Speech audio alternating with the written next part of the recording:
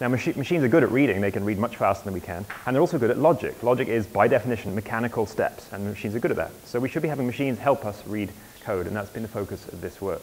And also write code, too. Uh, machines are, uh, are, less likely to make trivial mistakes, and when we're doing refactoring of big programs, um, we often make mistakes. So we should be having machines help us with that, too. So the, the talk is structured in three parts. The first is uh, some code comprehension tools that I've been building. The first is Oracle, the second, Godoc, or rather some new features of Godoc. Um, the second part, the middle of the, talk, will be how these things actually work. So I'm going to go into some of the libraries and also algorithms of how they work. And then finally, I'll talk about two refactoring tools. The first is called Go Rename, and the second, EG, for example. So um, there's a lot of demos here, so um, uh, I'm going to switch tabs. Um, the first demo is of a tool called the Oracle. So the Oracle is a, is a code comprehension tool that is integrated into your editor. Right now, there are bindings for um, Emacs, or uh, community contributed bindings for Vim and I think for Sublime. Um, so I'm going to use Emacs here, but it doesn't really matter which editor you're in. You just need a few lines to connect the two together. Um, so the first thing we can do with, um, with Oracle is just to uh, position ourselves on some, some piece of code and then ask it a question. So I'm typing a tiny little, I don't know if you can read the font down here, but I'm asking um, go Oracle uh, describe here. And it says, um, it says this thing here, so let me see if I can make the font bigger. Can you read that? Said that is, let's see if we can get it to go at the bottom as well. Every projector does something different, I notice. Um, this is a, a, definition of a method. And if we click on that little link there, let's make it bigger again. If we click on that link, it takes us to the, the, uh, the definition. So let's try another one. The type branch, if we, if we query this word here, it says, oh, this is painful. It says this is a, a, reference to a type called branch. It tells you its size, which might be useful if you're into uh, space optimization. It tells you the underlying type, and it also tells you the method set. Now, as you know, method sets are not uh, always obvious from a declaration of a type because methods can come from uh, embedded fields. So this actually does that computation for you. Um, let's try a more sophisticated query. What about um, type uh, tree here? Let's ask uh, what types implement this? And this time it says, sorry, sorry, this is frustrating. Um, it says this interface type tree is implemented by a pointer type star tree branch and by the basic type tree leaf. Um, and you can ask the query starting from a concrete type or from an interface type. Um, there's another query you can do where we say, um, what does this variable here tree point to? So this is actually a, this is actually a pointer of some kind. It's, a, it's an interface containing a pointer. Um, so I'm asking a query, what does, this, what does this thing point to? It has to think a little bit harder this time. And it says, it may contain, this interface may contain the dynamic type leaf. Um, if we point to this other um, this other variable down here and ask, what does this one point to? It says, well, this one actually points to um, only a, a, type branch. And branch is a pointer, which itself may point to an object allocated um, at this line here. Um, so it can actually analyze the, the structure of your program and understand where pointers point to. And notice that this, this tree variable at different points during its uh, life in this function actually points to different kinds of things. Um, we can say um, these calls to tree.sum here, these are interface calls. Can say, what are the callees of this of this, uh, this function call. And this time it says, um, this is a dynamic method call that dispatches to the sum method of the leaf type up here. If we ask for the second call down at the bottom, can you see my, my cursor, by the way? Are you able to follow? Oh, okay, so I'll, let me select it so you can see this. This time we're, we're selecting the, um, the, the sum uh, call down here. I'm going to say what are the, the, possible calls of this thing, and it says that it can dispatch to um, two, two types this time. It can dispatch to um, the leaf method, uh, so the, the leaf sum method, or to the uh, branches sum method, because this one's actually a, an interface call with two possible concrete types. So the analysis is able to understand these kinds of things. Otherwise, you'd have to read the structure of the code uh, more carefully. So it's not just looking at the types, in other words. Um, I'm, I'm, sorry the, the, screen layout's a little bit uh, strange today. So I'm going to do one other uh, query here. If we start inside the um, string method and say, if we, where is this function called from? So I'm going to ask the, the caller as query this time, and it says um, that this leaf string method is called from one place, and it's here. It is inside the printf library. So it's actually understood that, that the, there's a dynamic call from in printf back up to the string method, um, which is in fact the only place in this program that this method is called from.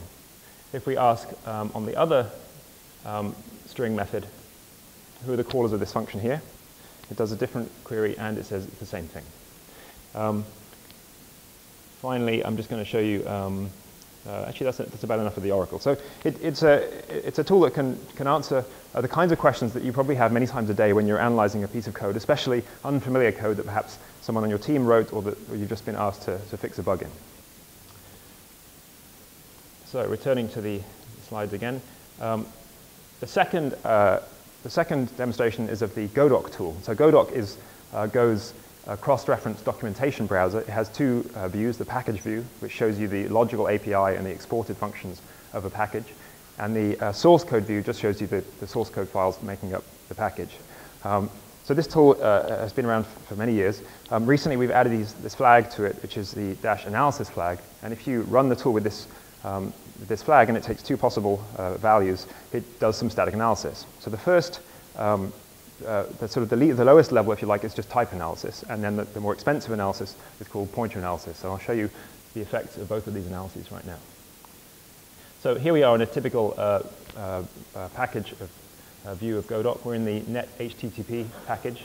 Um, we're looking at the type file, which is an interface. And as you can see, it's an interface that is um, defined partly by embedding other interfaces. So you accumulate the methods uh, uh, that you get from those ones plus the ones that you've declared uh, below.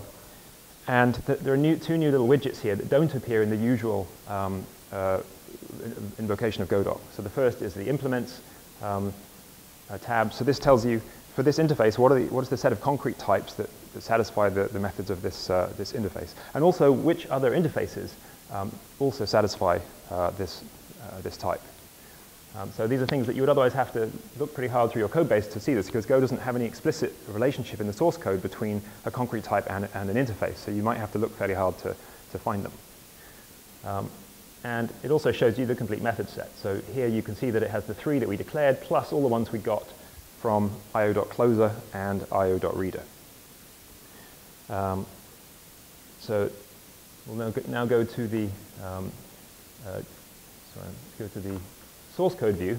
So now we're in the source code view for the I.O. package, and this is a whole lot of interfaces. Um, and we can get the same kind of information here. So if we click on uh, read closer, for example, um, uh, so by the way, the, the, the, blue links on this page are new. This is because we enabled the, the type analysis uh, mode of, of Godoc. So clicking on um, the declaration of a type tells you the same information. It tells you the set of uh, uh, concrete types that implement this thing and also the set of uh, methods it has. And obviously clicking on a, a name will jump you to the uh, definition of that name, as you'd expect. Um, so uh, let's pick a, another concrete type. So in this package, we're in the, um, sorry, we're in the um, uh, IOUtil package now, and there's a little type here called nop closer, and if we click on that one, it tells us that it's a, a structure of size 16, which is the size of one interface value. Um, it tells us three interfaces that it implements and the methods it has. Uh, if we just hover over a random identifier, so this one's readdir, it tells us, I'm sorry, again, the font's very small, but it's telling us this is a function, it's a method of the file type, it tells us all the parameters and the result types. So this can save us a trip to the documentation when we're just trying to read a, a, a passage of code. Um, so this works for any identifier. It tells us what kind it is, what type it is, and it'll jump us to the definition. Um, let's go now to, um, so here we are inside the uh, strings test uh, a, a, test file inside the strings package of the standard library.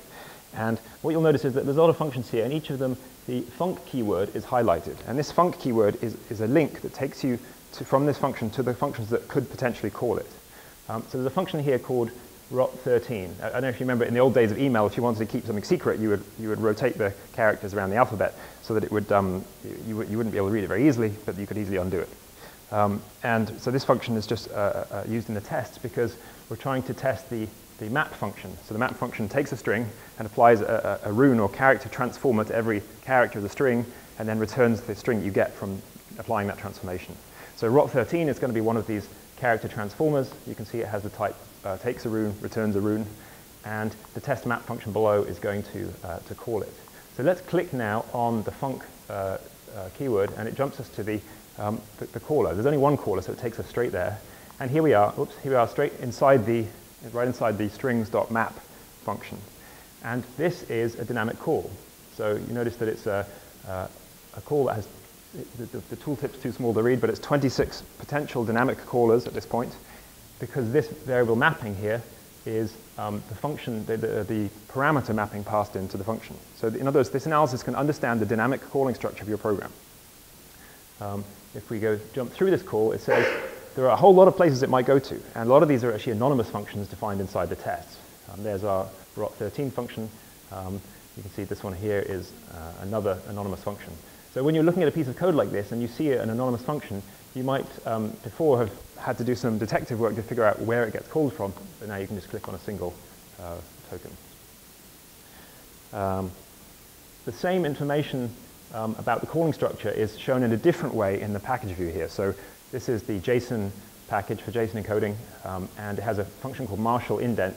And there's a new little widget called internal call graph, which will actually take you sort of through the internal structure of this function um, to show you how it fits together. So internally, it calls indent and it calls Marshal.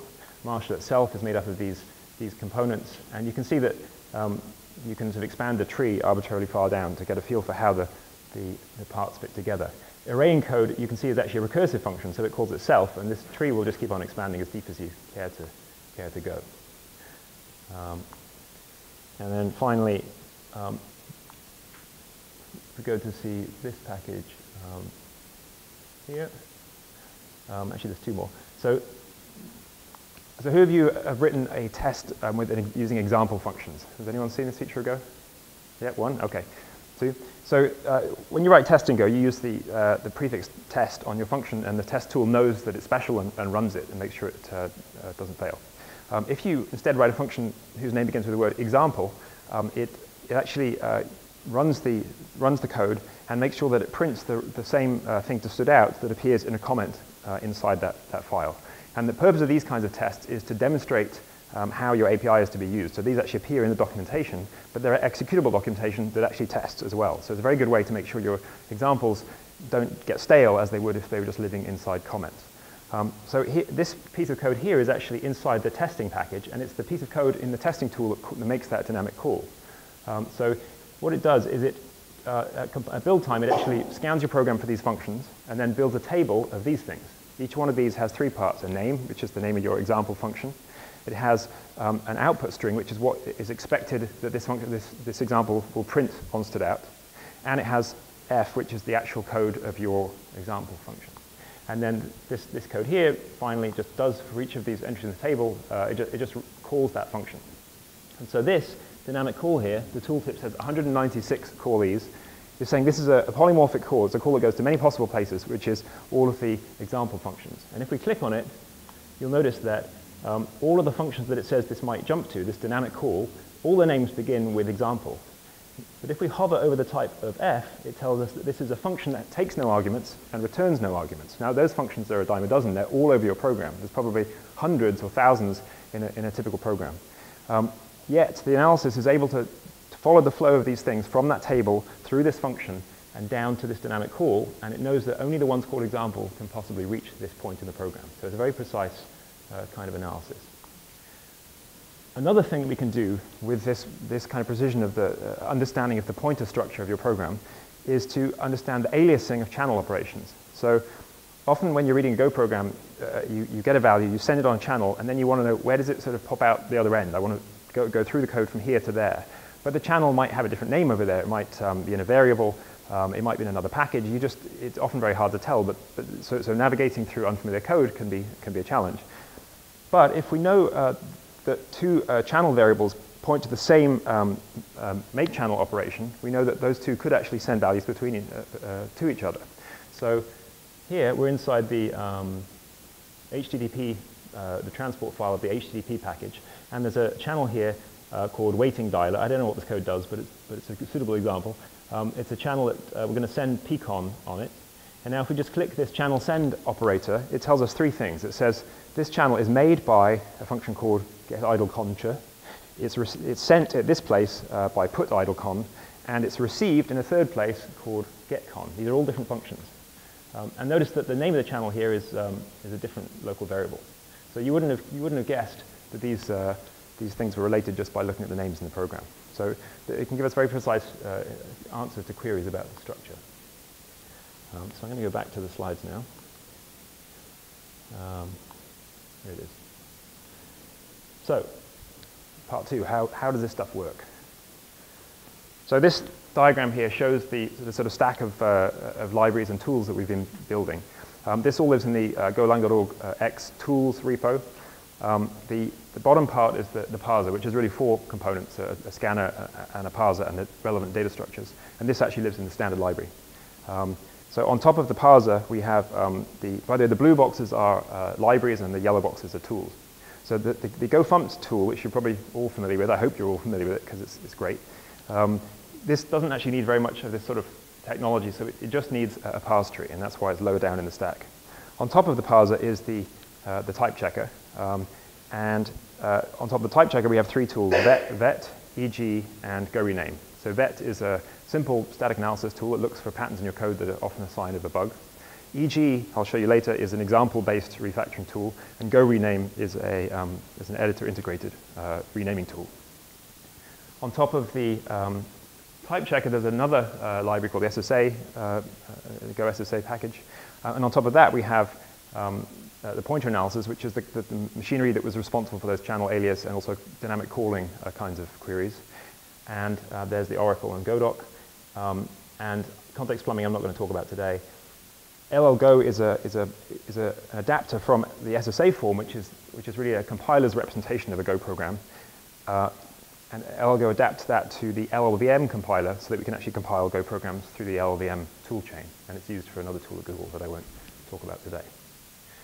Um, so I'll go through those packages bottom up in some more detail. The, the type checker um, actually does three jobs. Only one of them is type checking. The other two are to discover um, what we call resolution. In other words, what um, every identifier in the program, what, what does it resolve to? What does it refer to? Which declaration uh, is it a reference to? Um, the second is, uh, is to, for every constant expression in the program, is to compute the value uh, of that expression. And the third, of course, is to infer for every expression and declaration its type. And these look like they're all independent things, but in fact, you can't do any one without the other two. They're actually uh, subtly uh, interconnected in, in, in, ways that we didn't expect when we began, I think.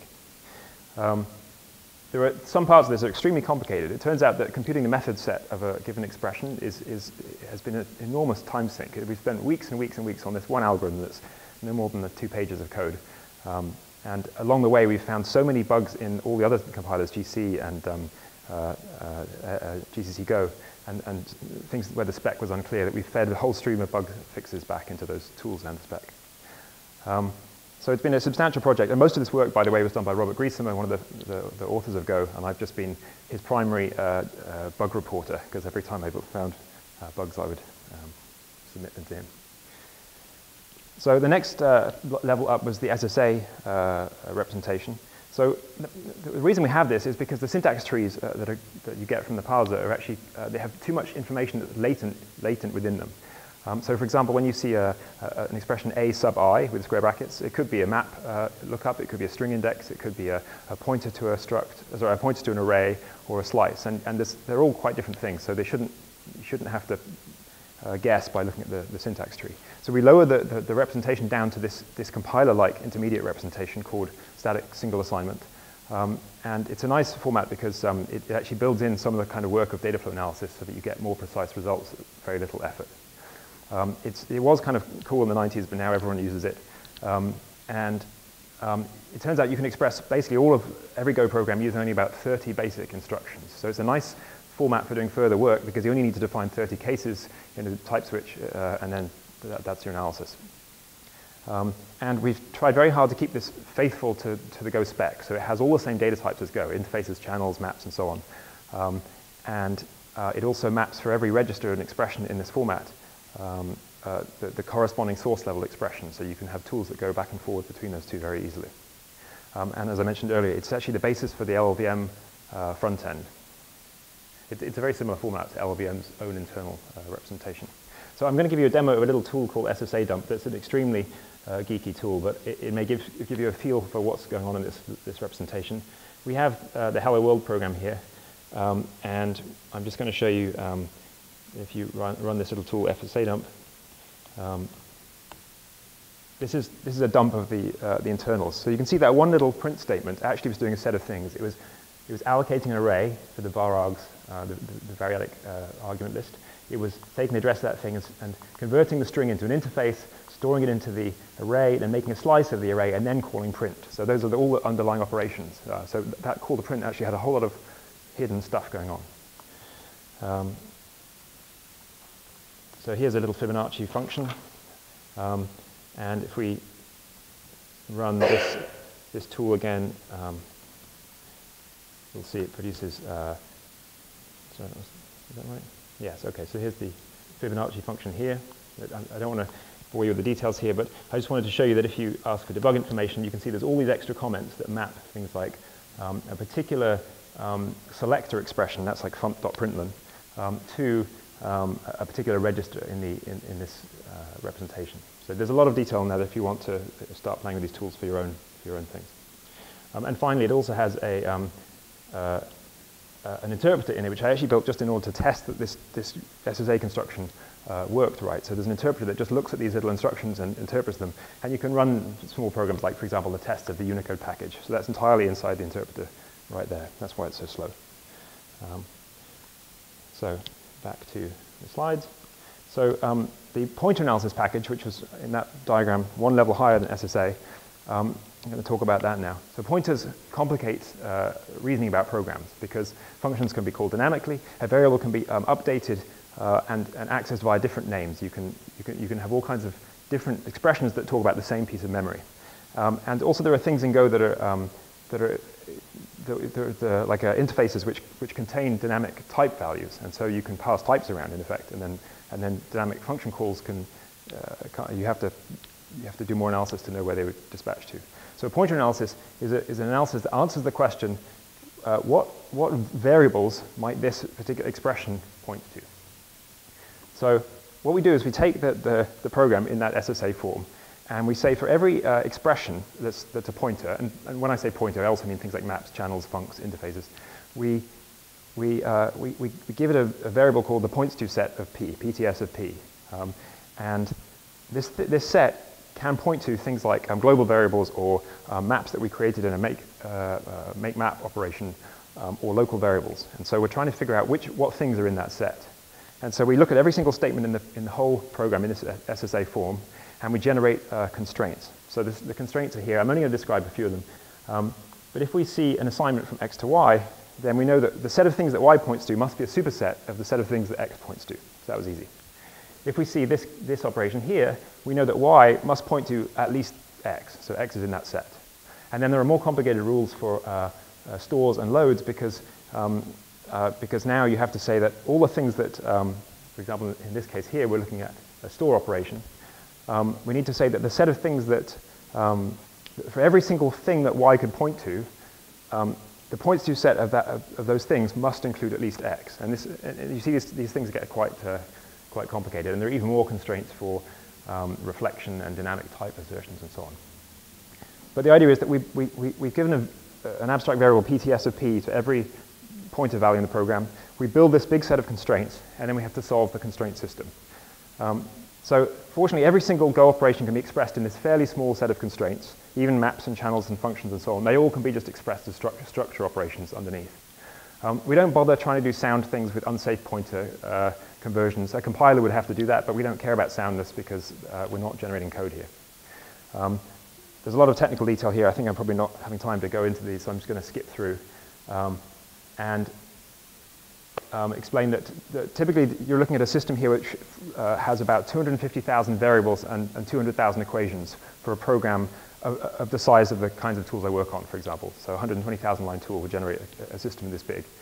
And what you're trying to do is once you've created these, these nodes, uh, these, these, these points to expressions and these edges that connect them, the constraints, you're trying to essentially compute the transitive closure, just sort of flow these values through the graph and see what they reach. And transitive closure is a problem that takes uh, cubic time and results in a in a result that's quadratic space. So it's a very expensive algorithm. Um, but the nice thing is that because it's a cubic time algorithm, the, the more that we re reduce that, that, that, that, x in the, in the cubic term, that we get a cubic benefit back. So um, we can bring this using optimizations down to about a quarter of the size of the number of variables and equations. And I'll explain very quickly what those optimizations are. So if you have a sequence of variables p, q, r, and s, each of which is assigned one to another, you know that that because nothing else gets to any one of those nodes, that the solution for all of them is going to be the same. So you can sort of crush that chain down into one single node. In the second case here, you have three variables where the values flow around them in a circle. And so you know that, that whatever reaches one is eventually going to reach the others as well. So you can, you can kind of crush these circles down into a single node that represents all three of them. And in the third one, you have um, two pointers that both happen to point to the same pair of uh, things. So you can just say, well, let's just treat them as one, uh, as one, one node that represents both of them together. So you're trying to kind of exploit these symmetries in the constraint graph to reduce the number of nodes so that cubic term gives you a, a nice benefit. Um, it's transitive closure. We do a lot of other optimizations I won't have time to talk about. Um, but because you're storing these sets, and there's lots of these sets, and they have lots of things in them, it really pays to use a, a good representation for, for uh, sets of integers. So we have this thing called a, a, sparse bit vector. There's a link here. You can look at the code. It's, it's kind of fun. Um, and then you run the solver, and it takes um, uh, a few hundred milliseconds, produces, with logging enabled, it runs much slower and produces gigabytes of output, which uh, can be quite painful to, uh, to step through, but it's fixed now. So um, that's the machinery behind the, the Godoc and Oracle tools. Um, once you've computed the solution, you can now uh, read the, the, the, call information directly. So you know that every dynamic call, you just need to see what are the point, the concrete types that this, that this thing could point to. And those, are the, those tell me the methods where this call could, could, could dispatch to.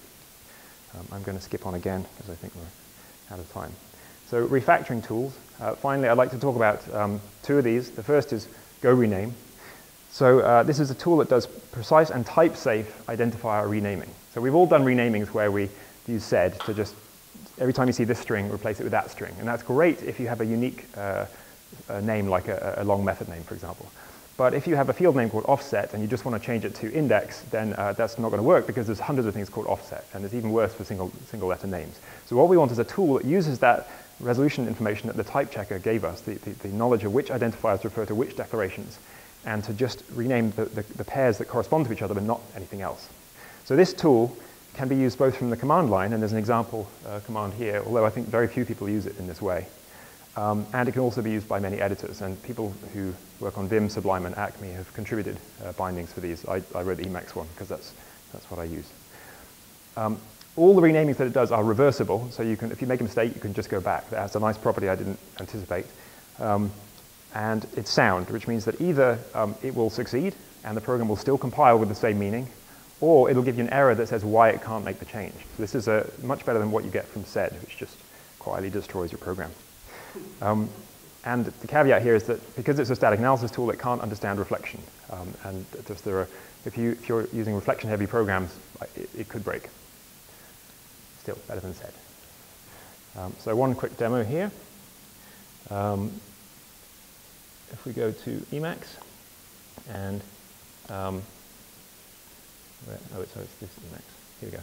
So uh, we can do a renaming of this type. This is a tree, a tree uh, uh, structure here, binary tree. So there's two concrete types, the branch and the leaf, and I'm going to rename the leaf to tip. Um, so go rename leaf becomes tip. Bam. Okay, so it changed all three of those. That you could have done with sed. Let's change LHS. We decide we, we don't like LHS, we, we want to call this left. So we're going to rename LHS becomes left, and those all changed. And let's change RHS to uh, right as well. This time we get an error. So what happened here is, um, let's make that bigger. It said renaming this field right-hand side to right, and it takes us to the place, would make this reference here, x.right, ambiguous with this field. So there's actually a pretty complicated piece of, of Go code here. Um, sorry. So what it's saying is that um, this type, uh, the, the, anonymous type that, that is used for the variable x, has all the things in answer and all the things in branch. And if we change branch so that one of its fields now becomes right and not RHS, then this x actually has two things called, called right in it. It has the one that you get from answer and the one that you get via branch. Now that in itself is not an error, but because we have a reference down here that refers to it, it's got to be unambiguous, and in this case, it's not. If we took that line out, it would, it would actually be fine. So in other words, it can see these things that you would never spot if you were just doing sed-based renaming or just having a, a, doing some guesswork. Um, and let's try another couple of things. There's a new, a new feature I'm going to show you right now. If you um, change um, branch.sum, we change that method to, um, let's call it add them up. So this time it says there's an error here because renaming uh, this method from sum to add them up would make tree.branch no longer assignable to interface tree. So this, obviously this method is required to have the same name as the one in the interface, so that's not a sound renaming. And then it gives you a hint. It says rename tree.tree.sum, i.e. the abstract method, if So let's do that now. So we go to tree.sum, and we say, um, go rename this to add them up. And now you'll notice that it changed the interface method and all the concrete methods and all the calls and everything else too. Now I must warn you that this particular one cannot be done soundly in all cases. So it's possible that there are programs that will break because of that change, but all the other ones are sound. So that's the end of the Go Rename demo. Um, and then finally, uh, the last tool is uh, EG. So this is an example-based refactoring tool. So I, I, shamelessly ripped this off of uh, Louis Wasserman at Google's uh, Refaster tool, written in Java. Um, you basically take a, a, little template like this where you say, I want the code that looks before like this to be replaced with this code in the after uh, function. And so in this case, we're changing calls where you use the error formatting mechanism, but you in fact just print a string to just create an error with that, uh, with that string directly. Now, I don't recommend you actually make this change, and in fact, there are cases where it's not safe, but let's say you did want to make this change. Um, you just run the EG tool with this T parameter saying what templates file, so this, this file here would be the template, um, and then you tell it which packages you want to modify. So um, if we go back to our shell, and we look at um, the template, this is the same template you saw more or less. There's, it's not using the errors, it's just using fmt print. And the input to this will be uh, eg test test.go. So in this case, there are two calls to fmt printf. And now let's run the tool. So eg test, so eg uh, dash t template, and then uh, eg test test.go. So notice it prints the results of standard output unless you tell it to actually overwrite the files. Notice that it changed the first one, as it should have, but it didn't change the second one, because this isn't actually a call to fmt.printf, even though it looks like one. This is actually a call to the uh, logger, to the printf method of the logger, and we've chosen this really perverse variable named fmt here just to try to confuse it, but it, it wasn't fooled. Um, so we didn't, it didn't screw the code up, which you would have done if you'd used uh, sed or something like that, or, or gofmt dash r, which can do simple kinds of renamings. So it's type safe. So back to the slides, and um, so uh, I'll finish up now. I just want to say that, that Go has sort of been known from the beginning for the quality of its tools. It has this Go tool, which is a Swiss Army knife with many simple, well thought out things. And, and Go has been a real uh, sort of high, a bar for us to, a high bar for us to follow because it's a tool that people, at first, they're a little bit um, afraid of it because they don't want somebody else messing up their hard written source code. And then they get used to it. And then one day they're using somebody else's editor and they're like, well, how, do you, how do you live like this? I can't imagine working without these tools anymore. So, so that's really the, the, the model for these other tools to, to, to, follow. So we've been building over the last year or two these, these tools of increasing sophistication, and we're, we're just starting to, to, to make more uh, applications uh, based on them. And so one question I want to leave you with is, is what should we build next? Thank you.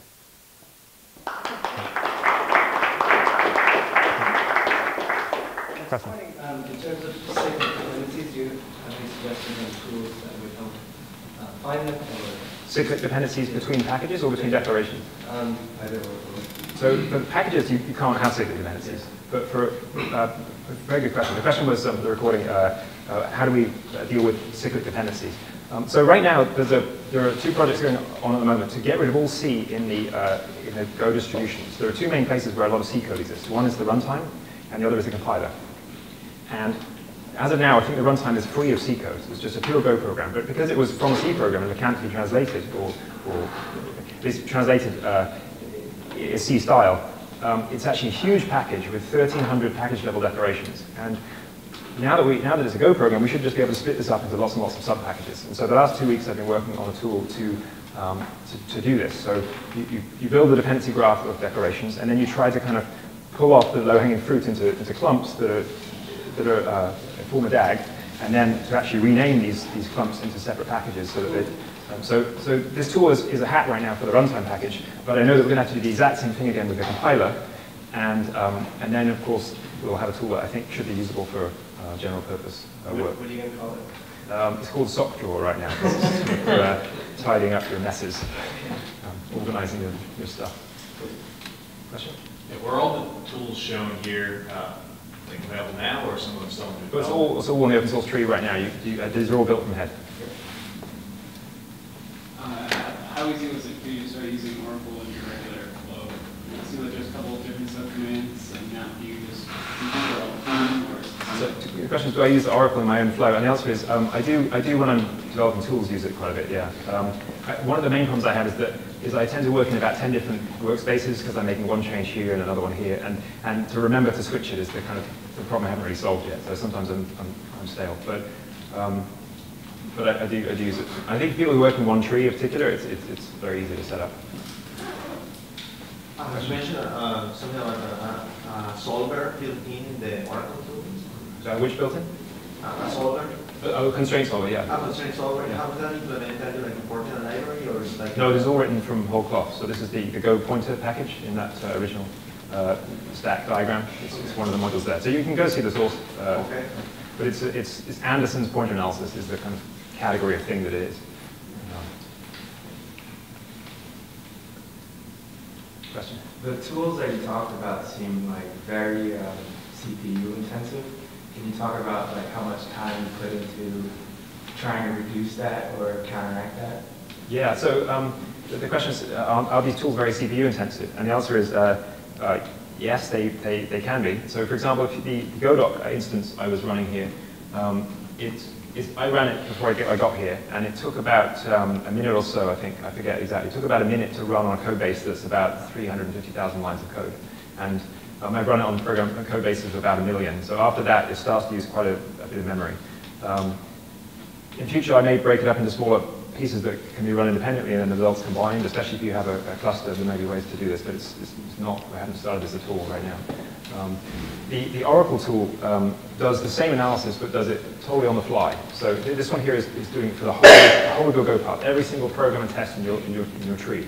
The Oracle was doing just for the one you, you had, I had told before um, to look at. So I told it to look at that little tree program. Normally I tell it to look at the set of a dozen tools that I work on. Um, and if I, if I was to run it on, on, on, on those tools, which is about um, 180,000 lines of code, it would probably take about a second or two for some of the pointer analysis queries. Um, the type queries are much faster. So it's quite usable for interactive work. Um, but for an enormous code base, doing this kind of uh, Godoc style thing, you, you typically run it and then wait for it. You mentioned in one slide there was one log that was on the order of about one gigabyte Yeah. size. Is that via Oracle? That's the, that was the pointer analysis internal debug logs, which nobody but me can understand. And um, I, I only use them when I'm tra tracking down a bug. Um, if I was to run with that normally, it would, that would dominate the runtime by, a- by a huge factor. Right. So now, what was the size of the code base that was run on, and how long did it take to generate that log? So, um, so, for, so if I was to run the Oracle tool on itself, it would give me an answer within um, about a, a second or two for typical queries. Um, and it would be, uh, there's an input that's 180,000 lines of code, um, a constraint system of about 250,000 lines optimized down to 80,000 lines, uh, sorry, nodes. Um, and then the, the whole thing runs in, in just a few seconds. So it's, it's, it's usable for interact, it's, it's usable for interactive uh, uh, work for, for, for single programs of moderate size.